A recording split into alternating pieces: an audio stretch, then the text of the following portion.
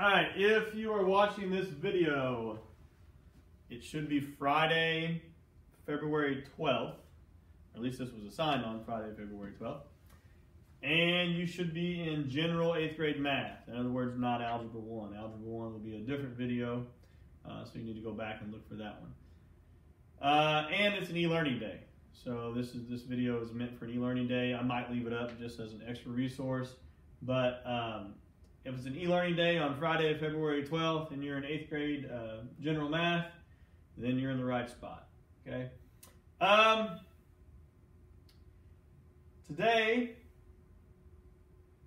instead of me giving you an equation and then you graphing the line, I'm going to give you a graph line, and then you're going to give me the equation.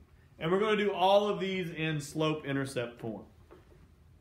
So we won't, we won't worry about converting anything to standard form or anything like that. So remember, slope-intercept form is y equals mx plus b. So we need to look at the graph. We need to figure out what m is, and we need to figure out what b is. Finding b is extremely easy. B is the y-intercept, where the line crosses the y-axis. So the y-axis is right here. It crosses at positive 1, 2, 3. So that means b is 3. So we at least know that b is going to be 3. We know that much. And now we have to find the slope.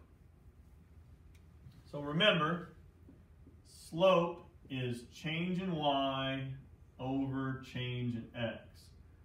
Up and down over left and right. some people call that rise over run. Um, anyway, we need to find two good points on this line. By a good point, I mean ones that go right through the middle of those crosshairs. So this would not be a good point. This would not be a good point. One like this would be a good point. One like that would be a good point. If I only could go up, down, left, or right, how would I get from this point to this point? That's changing y over changing x. So I would first go up 2. Up 2 is positive 2, and that's changing y.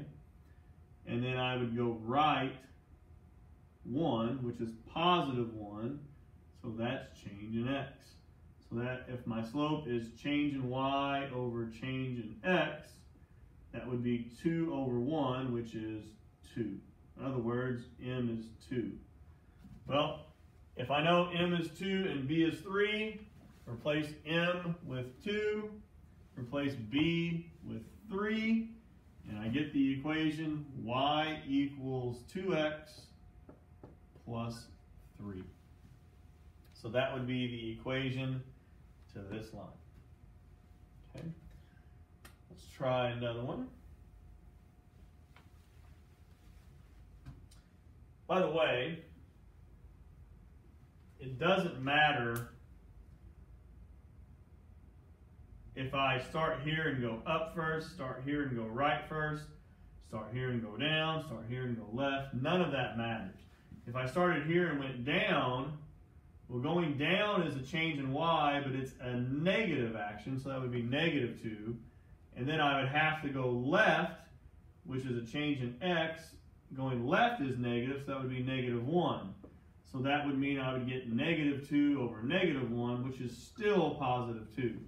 Okay, so none of that matters as long as you remember up is positive, down is negative, and those are both changes in y.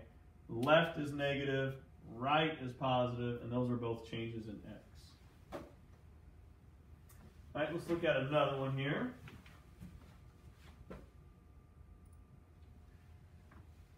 Depending on where the line was, the, the origin is not necessarily going to be in the middle. So right here is the origin on this one. All right, let's take care of the easy thing first. Here's my y-intercept. It's positive 1, 2, 3, 4, 5, 6. So b is equal to 6. And then I need to find two good points. So here's a good point, and here's a good point. Um, I like to start with going up or down first. So I'm going to go down 1. That would be a change in y of negative 1. And then I'm going to go right 2. Going right is positive, and that's a change in x, so that would be positive 2.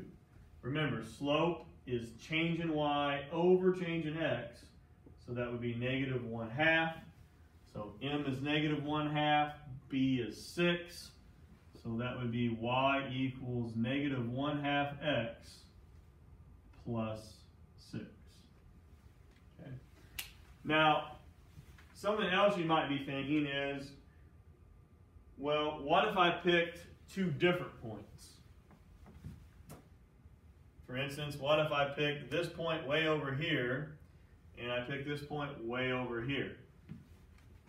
You're just going to have to reduce, not to spoil it for you, but that's down 3, so that would be negative 3.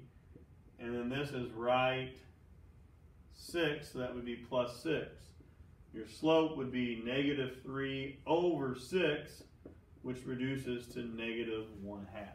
So you still get the same answer because slope represents a constant rate of change. No matter which two points you pick, you're going to get the same answer, assuming you remember up is positive, down is negative, left is negative, and right is positive.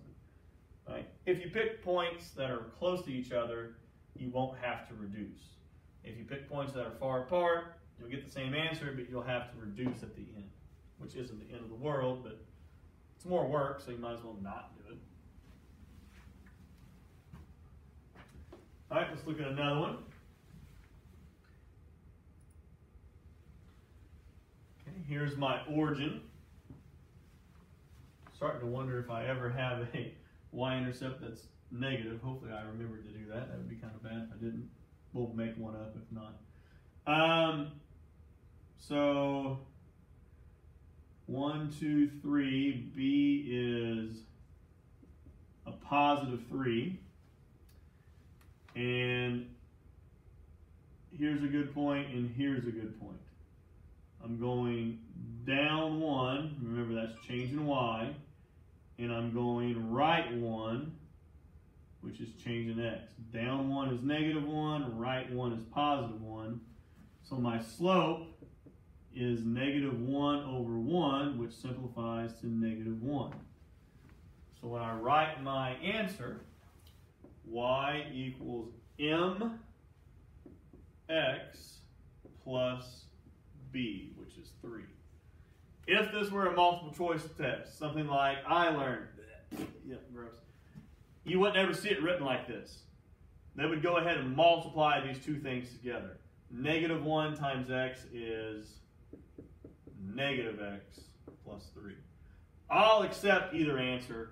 This is, if you're kind of a snooty math person who, you know, drinks your tea with your pinky out, you like this one and only this one. If you're uh, not that crazy, uh, you, you're fine with either one. So, but on a multiple choice test, you would see it this way 999 times out of a thousand, if not a thousand out of a thousand. It's just more simplified. So, all right, let's try the next one.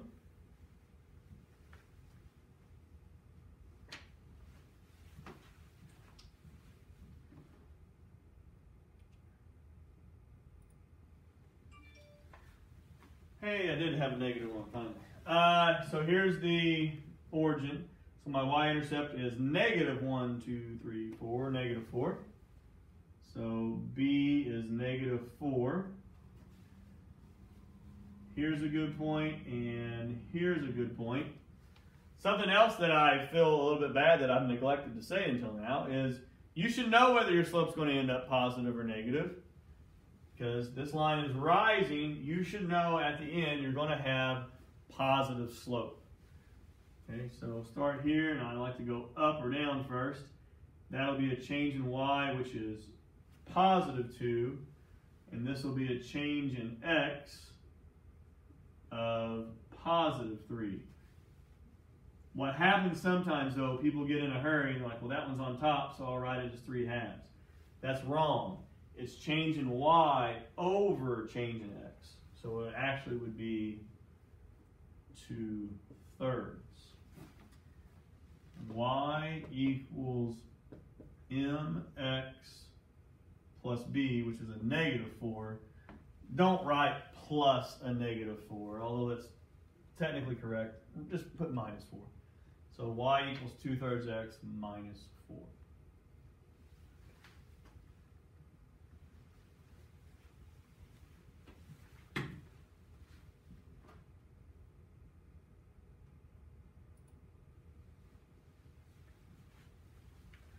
All right, this time our origin happens to be the y-intercept, which means we have a b value of 0. Um, I'll just go ahead and use this point and this point. So we're going to go up 3, which again is a change in y of positive 3. And then we're going to go right 1, which is a change in x of 1. So that means my slope, change in y over change in x, is 3 over 1. Go ahead and call 3 over 1 3. And we get y equals mx plus b. Once again, this is technically correct, but if it was multiple choice, you would never, ever, ever see it written this way.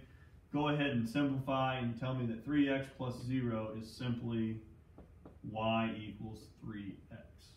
That's the preferred way. If you get that as an answer, I'm not going to mark it wrong. I'll probably scribble it out because it bothers me. But go ahead and simplify that. Just y equals 3x. That's the entire equation of that line. Two more, and then I'll let you work on your homework.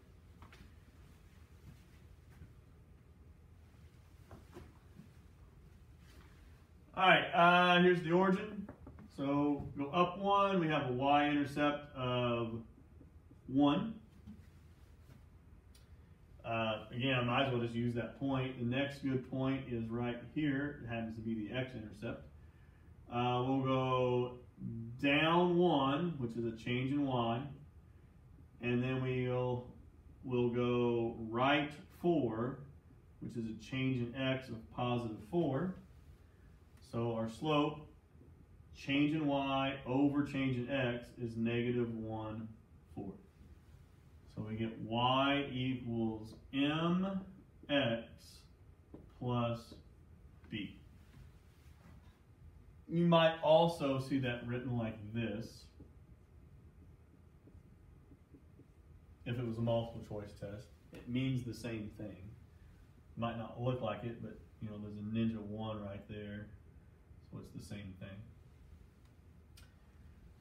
Last one before I let you work on your homework.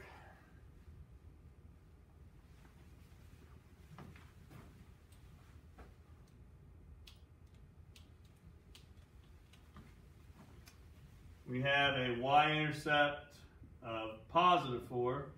Kind of neglected the negative intercepts over there. Negative y-intercepts. I did it once, so I guess that's, that's okay. Uh, a good point here.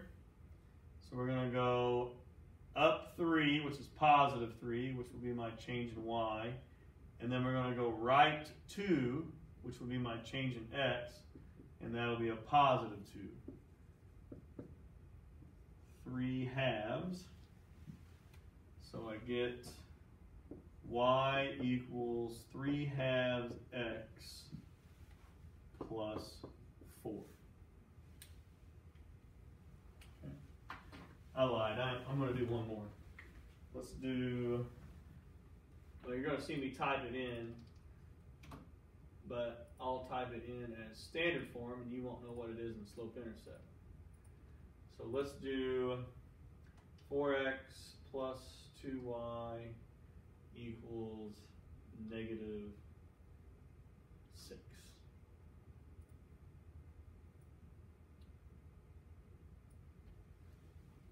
I wanted to do this one just to practice having a negative slope and having a negative y-intercept. I don't think we had one like that. So here's my y-intercept. It's at negative 3. So b is negative 3. Here's a good point. So I'm going to go down 2 and right 1. That's changing y, and that's changing x. So your slope is going to be negative 2 over 1, or just negative 2. So y equals mx plus b. y equals negative 2x minus 3. All right, your homework uh, should be also in the same Google Classroom post from February 12th. Have a good weekend. Get your homework turned in.